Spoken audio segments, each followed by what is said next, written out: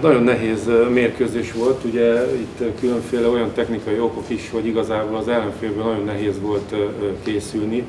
Ugye itt az MLS-nél az a rendszer nincsen meg, tehát teljesen új váratlanul ért a, ugye akár az összeállítás, mert az edzőmeccseken azért láttuk, de sokat változtattak. De a játékosoknak is ugye mondtam, hogy annyit nem az ellenféle szeretnénk foglalkozni, hanem a saját játékunkkal. Azt gondolom, hogy amit a utolsó két hétben, két edzőmérkőzésen nyújtottunk, azt a mai nap is tudtuk hozni, és annak ellenére, hogy azért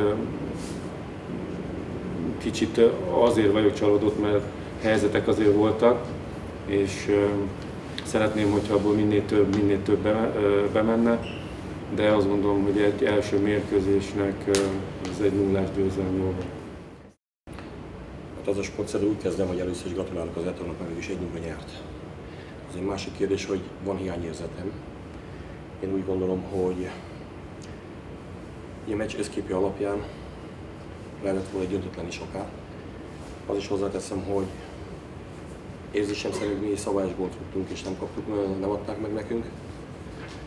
Hozzáteszem az is, hogy Zetúnak is volt két-három komoly lehetősége, és ö, viszont nekünk is megvoltak a lehetőségek, ugyanúgy 0 nál ugyanúgy a pontrugásoknál voltunk veszélyesek. A Győr ugye az összességében kihasznált egy picit a rutinját, főleg az Emilio Priskin és a, a, a, a Bacsa révén.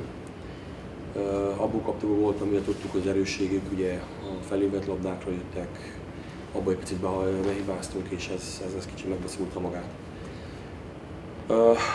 Előre kell úgy gondolom, hogy ezt a meccset ki kell elemezzük, tanulni kell belőle, és akkor jövő héten pedig ugye feladat állunk a Spartacus a Nyíregyházban, úgyhogy ott mindenféleképpen a három pontot szeretnénk tartani, úgyhogy röviden ennyi a mérkőzés krónikája. De dicsérni tudom a csapatomat, mert, mert a második félő ezt hozzá akartam fűzni, hogy úgy gondolom egyértelműen a miénk volt is, hogy picit tudunk dominálni, ami akaratunk érvényesül.